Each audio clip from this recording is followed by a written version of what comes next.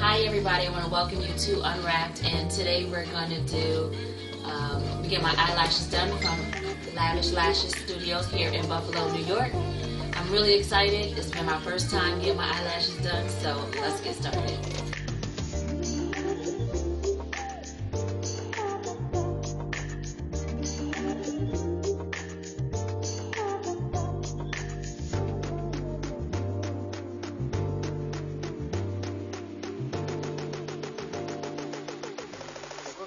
嗯ん、